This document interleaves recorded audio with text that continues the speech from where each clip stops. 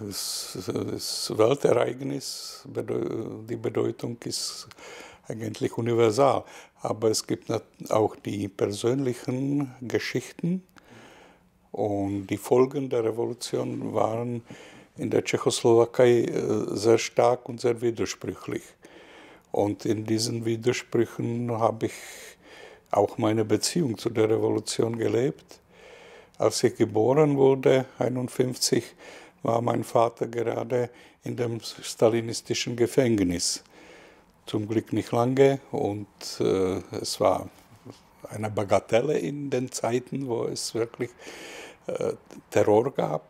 Aber ich erinnere mich äh, gut an die Angst äh, in meiner Kindheit und Jugend äh, vor dieser Macht.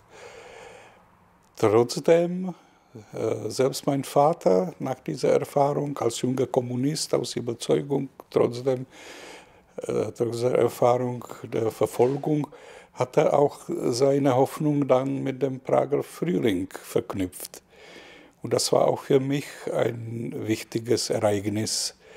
Und äh, es gab meinem weiteren Leben auch eine politische Richtung, also die, die Hoffnung auf den demokratischen Sozialismus äh, bleibt immer noch bei mir. Also die, die, diese äh, Widersprüchlichkeit bleibt wahrscheinlich für immer, glaube ich. ich. Ich denke überwiegend eine unbewusste, weil das ist kein großes Thema in der äh, allgemeinen Debatte. Natürlich die Linke beschäftigt sich damit immer wieder, aber auch nicht sehr produktiv, würde ich sagen.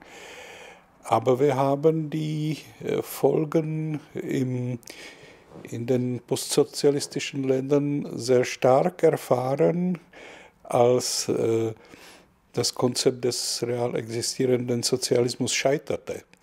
Und das war auch dann global der Anfang des, Mass des massiven Abbaus des Sozialstaates.